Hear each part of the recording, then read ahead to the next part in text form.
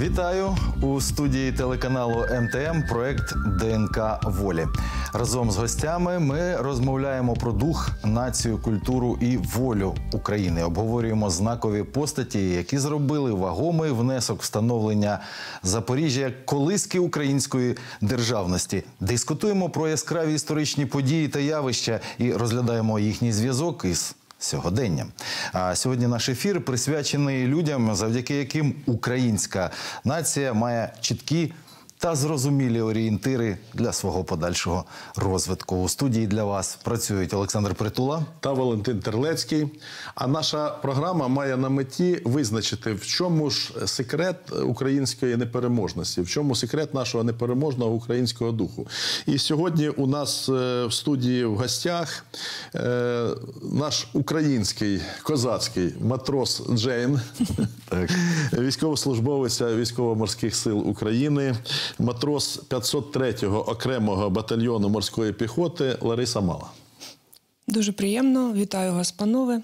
Дуже А е, наша програма, як завжди, починається з історичної рубрики. І сьогодні цікава постать у нас під нашим мікроскопом. Його біографія, наче руйнування всіх стереотипів щодо України. Дмитро Донцов найбільш суперечлива, але тим не менше ключова постать в історії нашої держави ХХ століття. Філософ, е, політичний діяч, е, який пропагував ідею незалежності України. Е, Він, до речі, народився в Мелітополі 17 серпня 1883 року. В його особистій українізації, так би мовити, взяли участь літературні твори наших видатних письменників, зокрема Шевченка, Пантелеймона Куліша, Олексія Стороженка. І про ключові праці Дмитра Донцова та його біографію далі у сюжеті.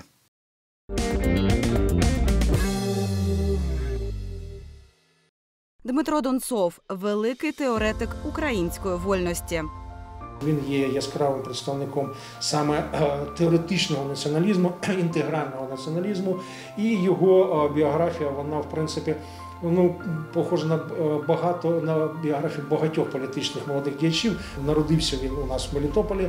Зрозуміло, що Мелітополя або того рівня навчання, можливо, йому було недостатньо, тому він шукає е, в е, більш, е, скажімо, е, великих містах на Львові, навчався потім у Відні.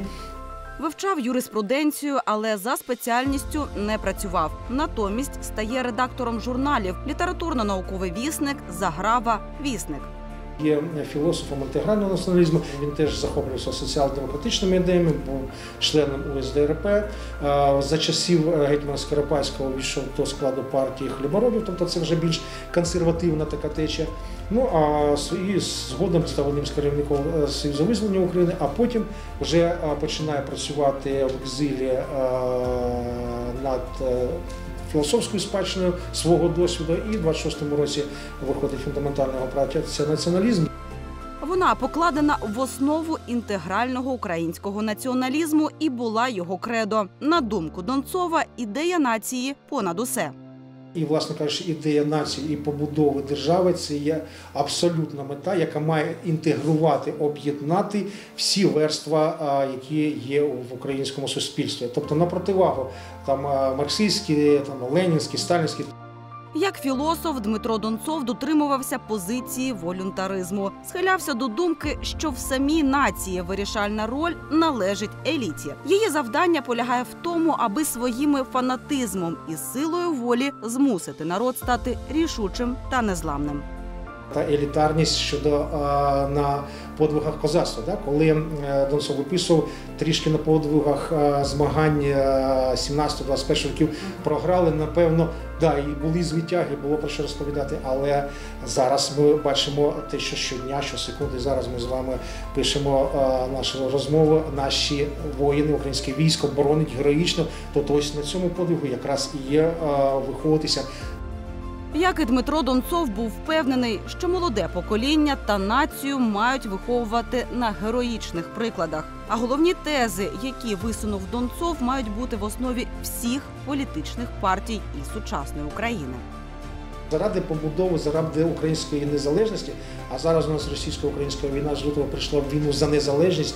Всі політичні партії мають об'єднати свої зусилля заради побудови е, держави. Не означає, що всі мають однакові погляди мати, але вони мають мати погляди, які різняться в способах, різняться в методах, але в межах української державності. Тобто Україна і держава є апріорі. Тобто сперечатися тут ніхто не має права.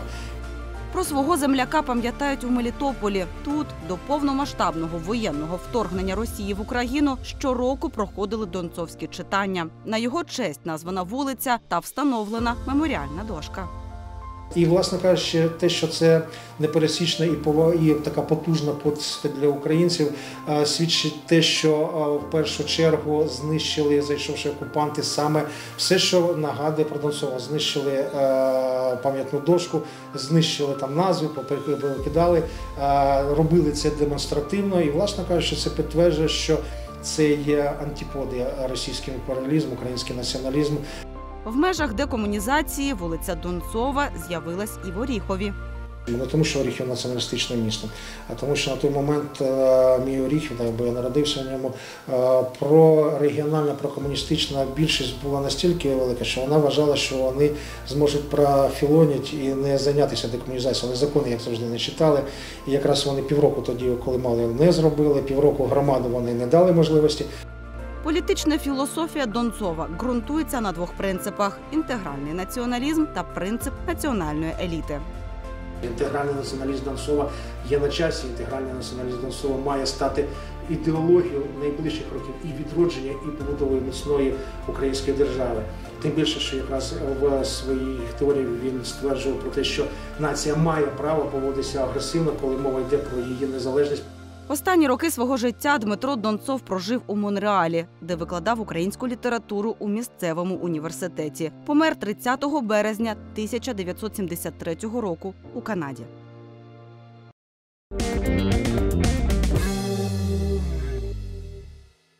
Ми повертаємося до нашої студії в ефірі. Проект ДНК Волі на телеканалі МТМ. У нас в студії Лариса Мала, матрос 503-го окремого батальйону морської піхоти. Лариса. Морський піхотинець і жінка насправді трохи незвичне поєднання. Ну так би мовити, для широкого загалу. Хоч війна останнім часом і внесла величезні корективи у все наше буття. Скажи, будь ласка, нам, як воно бути морпіхом? Насправді бути морпіхом не стільки важко, скільки просто відповідально, тому що зазвичай ці війська вважаються, ну насправді, я не кажу про себе, але про всіх своїх побратимів. Це вважається елітою Збройних сил України, і тому, е, коли ти просто стаєш до лав е, і збройних сил і до лав морської піхоти, на тебе покладаються великі сподівання і велика відповідальність, тому що ти маєш відповідати, бо морська піхота це воїни трьох стихій, їх називають на суші, на, на суходолі, на суходолі, на морі і у повітрі. Тому. Ну, а щодо жінок в морській піхоті, насправді нас зараз дуже багато, і нас не подолати. От і так склалося просто історично, що я була волонтером до 2016-го, а потім в батальйон морської піхоти, як, якому ми допомагали, прийшов молодий комбат. Зараз герой України і народний герой України, людина легендарна в усіх е, сенсах і значеннях цього слова, Вадим Сухаревський. І я попросила відношення. Ну, він сказав, нема проблем. Хоча я сказала, що мені вже багато років. Він каже: ну і що, а мені там ну, теж немало. Ну, Лариса, то ви е, перебільшили багато років, якщо ви служите, воюєте. Ви знаєте, е, мені на думку спало, що навіть армія жіночого роду у нас. Армія Е, жіночого. Ви знаєте, от ви служите в такому знаковому батальйоні, знамениті Маріупольці, 503-й окремий батальйон морської піхоти, Борсуки знамениті. знамениті борсуки. А в чому ж от родзинка, що саме від, їх відрізняє від от наших українських морпіхів? В чому родзинка борсуків? Родзинка борсуків, тому що вони борсуки. Насправді пару років тому е, ми стали навіть найкращим однотипним підрозділом Збройних сил України. Чому родзинка? Та ну я не знаю, так склалося якось, що якась така велика, така велика морпіхівська родина вийшла із того батальйону. А от звідки назва така борсуків борсуки. На шевроні от борсук. Так, да. до речі, на шевроні борсук. Де борсук, де морська піхота, але Борсук це, по-перше, позивний комбата. ага. Позивне нашого комбата Борсук він його отримав не в морській піхоті, а значно раніше. Він воює з перших днів і ще воював в Іраку. Але коли він став до став комбатом, то е, нам е, волонтери запропонували отакий, от це вже я не знаю, який там вигляд цього шеврону. Це не знаю. Ескіз на, напевне, там сьомий чи, чи десятий. А нам запропонували шеврон такий внутрішньобатальйонний з борсуком. По-перше, тому що позивний борсук у комбата, і якось хотілося бути ну, до того дотичними, причетними. А по-друге, і, мабуть, це дуже так класно спрацювало, те, що борсук медоїд, у нас саме він на шевроні. Ага. Він так, він дуже цікава тварина. Він такий хижак, у якого фактично немає ворогів у світі тварин, бо він тварина зухвала, дуже, дуже бойова, така немає перепон, перешкод. Він абсолютно комфортно почувається будь-де і може вибратися з будь-якої ситуації. Ще зухвалий і хитрий. А От ви знаєте, от е, аналог із Казаччиною, що раніше ж курені називалися по імені отамана засновника курінного отамана. От і Бур- Бурсучанський Так нас, курінь, да, можна так. сказати, підрозділ чи полк, чи батальйон. Але дивіться, е, от ви все-таки до війни були досить е, така успішна журналістка. Ваші програми дивилися. Я особисто дивився, в тому числі були на військову тематику. Дякую, так, Е. І от ваш вибір. От як вон, війна вплинула на ваш вибір? Чому саме вибір військова? Да? Я знаю точно, журналістами ну, не перестають бути. не перестають. Насправді, можливо, саме те, що я була журналісткою, і почасти те, що я була волонтером, це спрацювало якраз на те, щоб я прийшла і цілком природно якось влилася в цю ну, таку струю морпіхівську.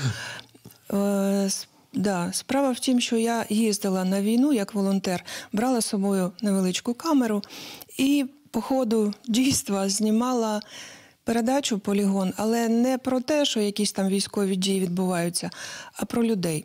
Мені було це цікаво. Я сподіваюся, що решті теж було цікаво. Ну і цілком природно, потім, що ти захотів залишитися з цими людьми. Ти так багато про них знаєш, і тобі так хотілося їм допомогти. В чому? В тому, що я могла робити. Як журналіст, ну я стала зв'язківцем, це трошки там десь поряд. А взагалі, от за журналістикою сумуєте, і в принципі ж зараз це дуже важлива е, ділянка війни, ділянка інформаційного фронту. Скажімо так, скажімо так, я не те, щоби сумую, я е, не від суму, не, не від жалю. Я почала писати книжку.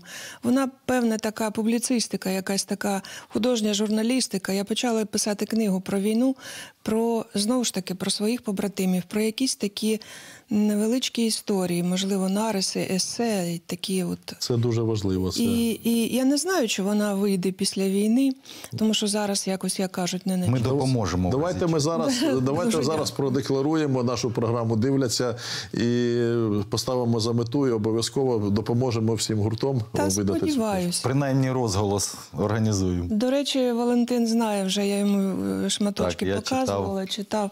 Там вона навіть називається там не про війну, не че не е, вона називається. Ну я так планую. Вона називається Запах війни. Я така людина, знаєте, який абсолютний слух, у мене абсолютний нюх.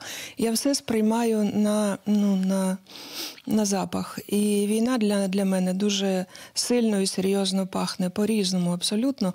Але там от історії ну, не зовсім про запах, але в тому числі і про те, як пахне війна в цілому і якісь конкретні її прояви, е, зокрема. Я, до речі, читав е, першу і, здається, другу частину, а чи навіть три всі частини, що ти мені скидувала. Мені дуже сподобалося. Я сподіваюся, що у тому масиві дійсно цікавою і е, захопливої е, літератури е, не загубиться і твоя книга. Вона колись вийде обов'язково. І е, почесне місце на полицях тих людей, хто полюбляє читати, вона займе як хронограф війни певного часу. Дякую за надію. Так, але от цікаво, Лариса, ти і мама, і, і бабуся вже відкриємо таку таємничку Так, для наших а що? глядачів. Це не таємниця. А як родина сприймає, що е, мама матрос, бабуся матрос у період загострення військових дій, е, там же ж можуть траплятися різні речі. Вони напевно переживають. Як взагалі сприйняли родина? Вони сприйняли це, е, як на мене, дуже мудро. Знаєш чому? Я просто, от я вже сказала, що коли прийшов комбат, я попросила в нього відношення, і він мені його там через пару місяців таки добився у комбріга. Я тоді прийшла до дітей і сказала, що я йду в армію. Я, я і сподівалася, що такого шоку не буде, бо Ну, я так вже два роки їздила на фронт, кожен тиждень ми їздили з волонтерами. А тут вони сказали: ти знаєш, ми навіть вже давно чекали. Ми навіть настільки давно чекали, що це це ж каже, що, що вже перестали боятися. І вони підтримують мене. Їм буває не вистачає, можливо, мене там як бабусі, як мами. Але зараз вся країна, а зараз особливо, вся країна якось зосереджена на тому, щоб перемогти. І напевне, вони знову ж таки з такою же мудрістю ставляться до того, що я досі там поки що. А відкрий таємничку, скільки ону- онучків? Троє. Ого! Я багата бабуся. Як ото трьох дітей не пускають вже батьків да, на війну, кажуть, чи в армію не беруть з трьома дітьми. Я бабуся з трьома внуками, і я поки в армії. Е, Зробимо е, невеличку паузу в нашій розмові і переглянемо традиційну рубрику ДНК волі про е, виживання, практичні поради у разі надзвичайної ситуації від Олександра Дяченка, командира громадського формування міська варта. Увага на екран.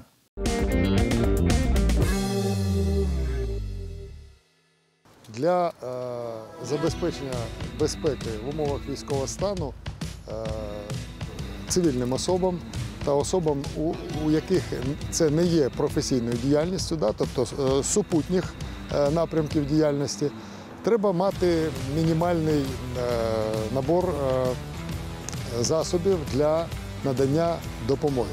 Це не тільки медична допомога, це і допомога технічна, допомога в транспортуванні, допомога в наданні е, зв'язку і таке інше. І ми торкнемося деяких аспектів, почнемо дійсно з медичної. Хотілося б сказати, що дуже важливо е, не тільки мати засоби, е, за допомогою яких можна надати допомогу, а і вміти їми користуватись. Це, наприклад, як ти маєш е, скрипку, але не вмієш на ній грати. І навіть якщо ти сходив два рази на концерт, ти все одно не навчився на ній грати. Тому важливо мати засоби і мати навички поводження із цими е, засобами. Що б я порадив? Ну, є, як завжди, мінімум 100% і максимум. Е, Мінімум це хоча б первинні речі, які повинні бути в кожному, кожній валізі, е, в кожному наплічнику е, і таке інше. Це як мінімум один турнікет, один бандаж е, кровоспинний і перев'язувальні матеріали, і таблетки, які вам найчастіше потрібні, а також загально прийняті, е, які, ну, вибачте, при діареї повинні бути. От, активований уголь, тобто мінімальний набор. Це мінімум. Під час війни, е, ну, на жаль, е, цивільне населення найбільш незахищене, тому що військові це їх професія. От. Хто мобілізований, він отримав ці навички і знання під час навчання. А, а хто військовий і професійний, це для нього взагалі професійний е, вид діяльності. Тому для них військові дії найменш уразливі, а вони, на жаль, найбільш вразливі для е, цивільних особ. Дуже важливо навіть в повсякденних своїх речах мати засоби е, надання медичної допомоги. Ну, в частності, турнікет, модель КАТ, аналог. От, тобто, навіть в особистих речах з вами це повинно постійно бути, тому що ви не знаєте. Тільки доля випадку е, вирішує, е, коли ви зможете застосувати свої е, навички і таке інше. Тобто в повсякденній е, валізці вашій повинні бути первинні засоби надання медичної допомоги собі або комусь. Зрозуміло. Що я пропоную? Якщо у вас є більше можливостей, то навіть аналог автомобільної аптечки можна е, е, використовувати. Тобто тут що є? Також турнікет. До речі, зверніть увагу, різні моделі. Це також важливо, щоб ми могли користуватись різними моделями. Бандаж і перев'язувальні матеріали. Цю аптечку можна покласти або у валізу свою, або в наплічник і мати при собі, ну в автівці, так це взагалі не, не, не обговорюється, це стандарт. Тактична аптечка е, військова, але ну чим вона військова? Вона е, може застосовуватись і цивільними особами. Тобто вона розкривається повністю отак. От. І що в ній є? В ній є повний комплект для надання медичної допомоги також вам або тим, хто цього потребує. Е, Один-два турнікети, один-два кровоспинні бандажі, перев'язувальний матеріал. Е. І інші засоби для надання медичної допомоги. Е, Пігулки, ті, які ви використовуєте на постійній основі, ножиці для розрізання е, тактичного спорядження або просто одягу, е, е, термопокривало, те, що накриває е, людину, коли їй надали допомогу, щоб вона не охолоджувалась, і таке інше. Тобто тактична аптечка або її аналог. Укомплектуйте дуже зручно, не обов'язково її носити на спорядженні. Вона може лежати в сумці, в автівці, е, в кабінеті, у валізці. От. Або е, спеціалізований медичний е, ну, там, рюкзачок, е, наплічник або сумочка, валізка. Тобто, що в ній? Да все те ж саме, господі. Що ми бачимо в цій валізці? Дивіться. Е, е, знезаражуючі, перев'язувальні матеріали, термопокривала, е, інструкція, що, що важливо, да? що, щоб була кровоспинний турнікет, да? турнікет, аналог джута, ножиці для розрізання, перев'язувальні матеріали. Обов'язково я забув сказати. Перчатки, медичні перчатки, маска повинна бути. Розуміємо, що коронавірус ніхто не відміняв. От.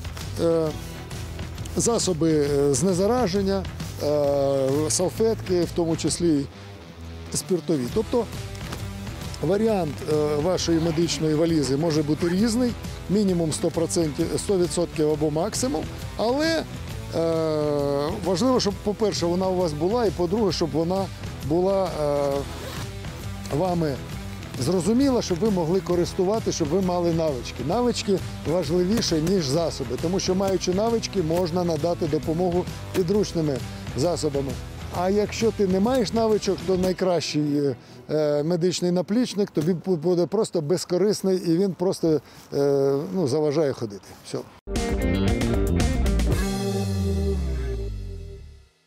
Ми повертаємося до нашої студії в ефірі проект ДНК Волі. І ми продовжуємо розмову з військовослужбовицею е, ВМС України Морпіхом Ларисою Малою.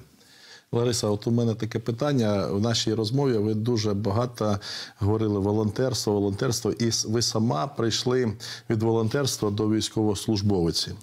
Е, у нас в грудні от відзначається е, поряд з Днем Збройних сил України, е, відзначається День 5 волонтера. грудня Нині День сьогодні волонтера. це навіть можна сказати, ну професія. А я би не сказав, це професія. Це взагалі прошарок, пласт суспільства такий, уже фактично визнаний. Такий е, люди з повагою відносяться. У нас в програмах наших були з дуже унікальними волонтерами.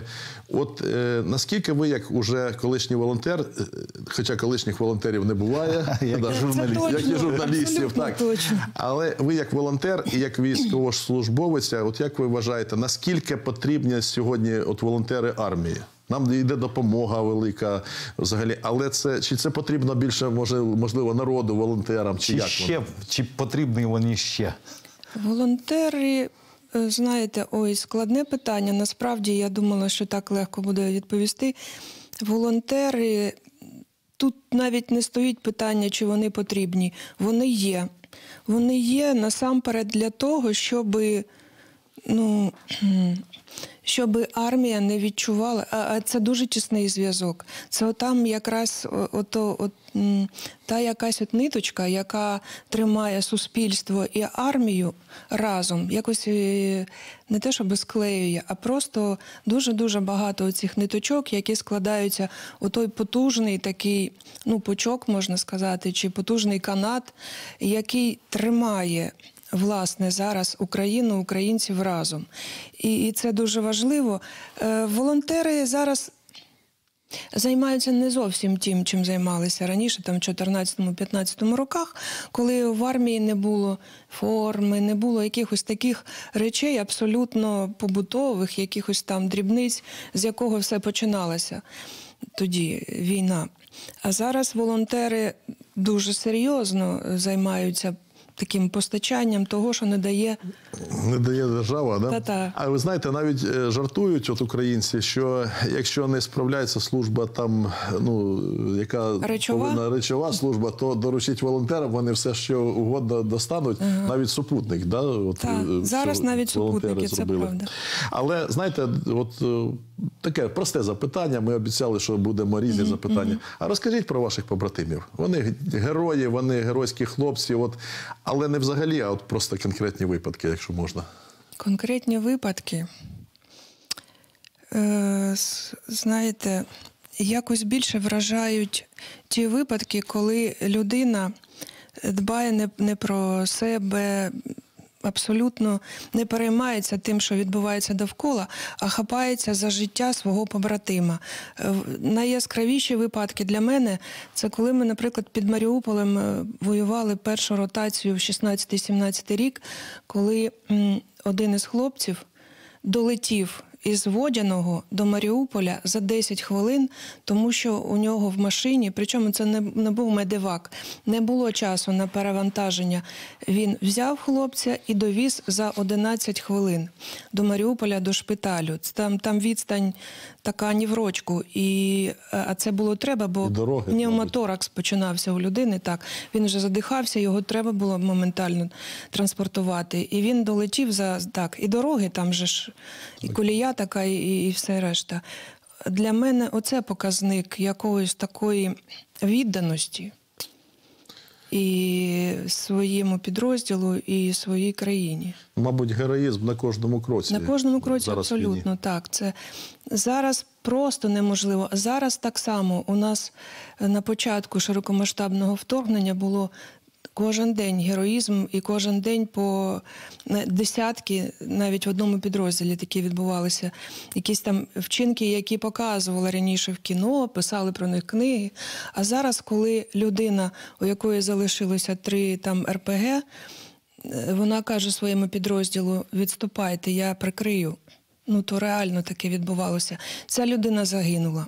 Але два танки він підірвав, а третій танк так, так сталося, що від е, постріла танка загинув він. Але підрозділ змог вийти. І це теж ну, подвиг. Так. Лариса, у мене далі продовжимо тему війни, але буде трішки болюче питання для всіх нас. Я е, декілька разів в своєму житті був у місті Маріуполі, де останніми роками стояв 503-й батальйон ваш. Е, Це було квітуче європейське місто з е, великими, як на мій погляд, перспективами, зокрема і культурними. Це правда. Е, І, а нині цього міста практично не існує. Е, Як журналіст, е, як е, більше як журналіст, колишніх не буває.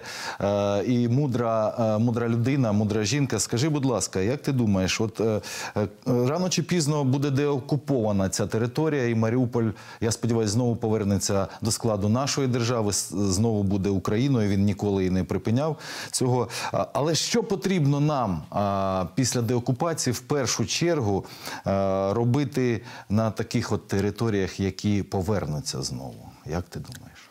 Знаєш, на жаль, кажуть, менше знаєш, краще спиш. Ми знаємо, що на багатьох територіях, в тому числі і Маріуполь, ну, міста, села зруйновані на 90%. Після повернення треба буде відбудовувати все це. І відбудовувати не ремонтувати там якісь е, цеглинки вставляти. Напевне, за великим рахунком, треба буде робити все наново. Тобто треба будувати нове місто. Його треба, можливо, назвати буде Маріуполем, а може, ну так і станеться, це, це природно. Але це буде інше місто. Це не буде на руїнах квіточки, які проростають. Це буде не треба такої, от знаєте, дуже е, сльозливої такої пам'яті, яка ну повинна без кінця десь там тебе е, шкрябати. Е, Пам'ять має бути гідною, пам'ять має бути такою справжньою і дуже дієвою. Не просто садити квіточки, не просто ходити плакати на хрестик, а робити щось для того, щоб е, пам'ять про тих е, людей, які загинули, щоб вона ну, жила і була потужною. А от можливо в контексті навіть нашої програми ДНК, дух, нація, культура, волі. е, е, Будівлі ми відбудуємо. Храми ми сподіваюсь відбудуємо і промисловість, і території. Але от е, що робити з саме духовним, духовною складовою через відсутність, до речі, роботи в цьому напрямку і держави, зокрема, на мій погляд, і сталася в девчому ця трагедія взагалі. угу. Трагедія руйнації. Ну так. Ти маєш на увазі, що робити державі для цього? Нам всім Нам в духовному всім, в напрямку. духовному Яка плані. робота нас очікує всіх? Не хотілося б, щоб знову волонтери поїхали усі усюди і піднімали. Або так, як інколи думають люди, які знаходяться в тилу. Вони кажуть: от ви повернетесь і нам і все зробите, зробите. А чому ми повернемося і вам все зробимо? Напевне, е, будуть якісь. е, Так само батько розповідав після Другої світової, коли відправлялися цілі, я не знаю скільки людей, сотні тисяч людей відправлялися і навіть мало того, що відбудовували, вони ж там не тільки будинки ставили і церкви. Вони там розвивали культуру, вони там приносили щось своє.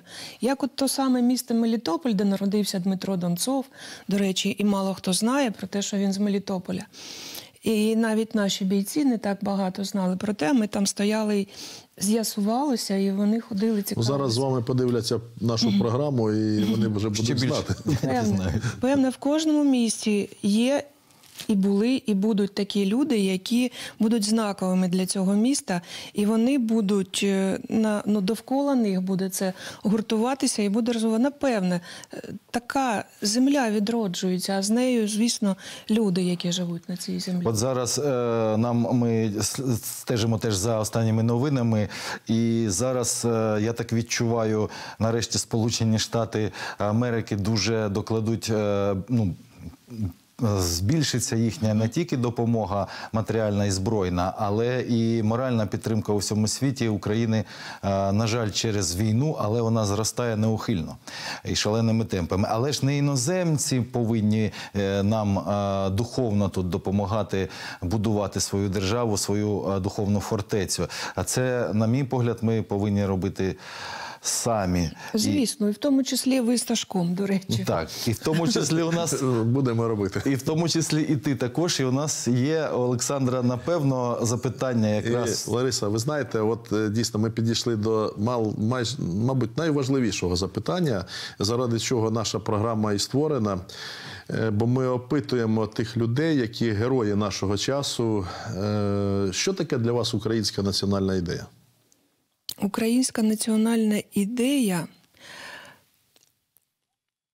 це дозволити, нарешті, дозволити українцям е, бути самодостатніми.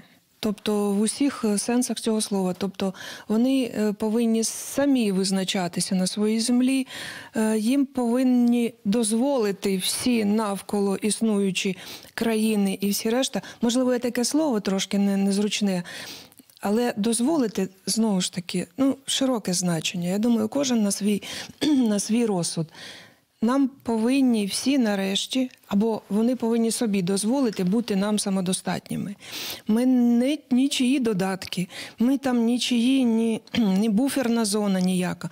Україна та практично найбільша країна Європи. І, і тепер на Україну будуть рівнятися, і тепер Україна буде, можливо, як от Фенікс, ну правда, таке трошки заїжджене як порівняння, До але речі, в марші Спасу говориться: ми зробимо все, щоб щоб наша Україна, як птиця Феніс, щастя ожила. о, супер. І ви знаєте, ви сказали е, те, щоб дозволити все, але е, ну я під текст бачу слово воля. І ми Звичайно. от е, зроби, ми визначили п'ять чеснот української національної ідеї: це воля, правда, справедливість, честь і гідність. От прокоментуйте по порядку, будь ласка, що для вас воля, що для вас справедливість, що для вас правда, честь і гідність. Ого, так. Ну, По порядку. По порядку. Воля. воля. Воля. Воля це для мене особисто. Так, Так. От так склалось історично, що якраз е, всі мої пращури, я батько, дід, прадід, вони всі попадали в якісь е, визвольні війни. І для мене воля ну, абсолютно не пусте, не порожнє слово, тому що вся моя родина до, до самого коріння жила задля волі, боролася за волю і зараз продовжує. Е, Тобто, це ти, це твоє самовизначення на цій землі. Для чого ти тут? Е, Що ти тут ну, природній, і тобі ніхто не має права диктувати, що тобі робити, коли бути з ким і так, і так далі. Ну, якось Правда. Правда. Правда. А, як Як кажуть, на, на- як на екзамені. як кажуть, правда у всіх своя, та істина якась одна. Е, Що таке правда? Правда для мене це можливість, можливість бути щирим в усьому і з усіма. І не то, що я там е, комусь щось сказала, не сказала, ти хворий та там ти здоровий, так як лікарі бояться говорити правду. Правда, це те, що ну знову ж таки, у кожного своя правда, да. Ну я не знаю. От дуже складно з правдою. Справедливість. Справедливість. Зате ви сказали правдиво, що я не знаю, що таке Я не знаю, правда. А, справедливість. Ой, знаєте, знову ж таки, у мене дуже таке, можна скандальне трошки, а може і, і дуже архаїчне поняття справедливості. Я інколи заглядаю Біблію, і мій улюблений, можна сказати, апостол Павло колись сказав: не кажи, що Бог справедливий, бо я загинув. А кажи, що він мил- милосердний. Справедливість це коли м, око за око, зуб за зуб. А це не завжди спрацьовує. Справедливість е, Має вилитись милосердя. так має бути з милосердям. Цікаво. Цікава, цікава думка дуже. Ну а честь і гідність. Честь і гідність. Це ой, всі такі дуже дуже такі пишномовні слова. Честь. Да для мене поняття честі це. Я просто його бачу кожен день. Е, ц- Це не те, що там просто не зраджувати там або що. Для мене приклад честі це буквально кожен мій побратим. Поняття честі від, від самого комбата і до самого останнього, самого маленького матроса. Ну ви знаєте, от людина, яка живе на морі, от коли її просять описати море, вона її, його ніколи не опише. Для цього треба приїхати на Це море правда. здалеку. Ну а гідність. Гідність. А гідність це наскільки ти м, дозволяєш собі бути е, високим, певне так. Наскільки це ти, ти в собі можеш розвинути е, от ті якісь такі речі, з яких може навіть інколи насміхаються у нас в суспільстві. Тому що у нас е, не скажу, що багато негідників, але, ну, як кажуть, ні в чисті бути от таким гідним. Ну, ви знаєте, ми от опитуємо, питаємо, бо ми разом, е, всі разом з нашими гостями, ми пишемо, мабуть, книгу таку, знаєте, української національної ідеї. В чому ж її суть? Бо всі Наживо, говорять, наживо. наживо пишемо. Так? Ну і таке запитання. Ми казали, що вони будуть такі маятникові запитання. Що ви будете робити після нашої української перемоги? Ага. Я дуже хочу повернутися в журналістику, якщо чесно, уже бо колишніх не буває, ви самі сказали. Колишніх не буває, хочеться е, творити. а позаяк не вмію щось робити таке, як от уміють хлопці. Ручками. То ні, ручками можу, ручкою можу. Тому я сподіваюся, що мені це дозволить. А ще у нас багато насправді. А що я буду робити? Я буду внуків ростити. Не знаю. Як складеться. Ну, Головне- точно книжку ви. Книжку я закінчу обов'язково. Це найближчі так плани. Це Лариса, і наостанок нашої розмови. А що таке от для тебе особисто наша перемога? Коли вона має настати, на твій погляд? Я не зависла, це не те, що Ні, ми розуміємо. Для мене це дуже-дуже таке. Е, Знаєте, ще під час Другої світової хтось із класиків сказав, війна закінчиться тоді, коли буде похований останній солдат цієї війни. І е, перемога і закінчення війни вони пов'язані з тим, що е, не знаю, скільки років пройде до, до тих пір, поки ми поховаємо останнього солдата загиблого, тому що багато людей залишилося в полях, на жаль. Як і і з нашої, і з тієї сторони, ми маємо обмінятися нарешті всім. Е, Закінчиться війна, і перемога це коли, це коли ти зможеш нарешті проснутися і не думати про те, е, скільки ще сьогодні загине чоловік, чи скільки сьогодні зникне безвісти, чи скільки сьогодні дітей там заплаче чи вдів да, від того, що відбувається. Це коли люди нарешті перестануть чекати чогось страшного, перестануть плакати і перестануть боятися. От тоді ми, напевне, переможемо. Перемога має відбутися і в собі теж всередині. Коли я перестану боятися, що за- зараз щось прилетить. І це буде останні хвилини мого життя. Ну, тобто перемагати треба і в собі, не тільки зброєю на полі битви. Якось так, я думаю. Ну і наостанок, мабуть, скажи, будь ласка, свої побажання нашим глядачам. Е, Вони е, в тому числі і нашу програму сприймають як віконце е, в надію. Будь ласка, пару слів. в надію. Я дуже-дуже бажаю всім віри, віри в нас, віри в Україну, віру в перемогу, тобто віри в усіх значеннях цього слова.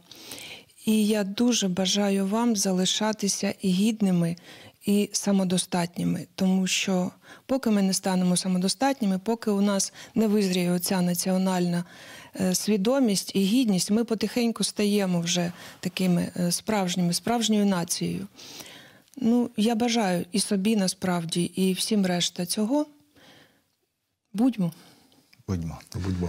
Дякую за розмову. Нашим глядачам я нагадую, що в гостях проєкту ДНК волі була Лариса Мала, військовослужбовиця е, військово-морських сил України, морпіг 503 окремого батальйону морської піхоти.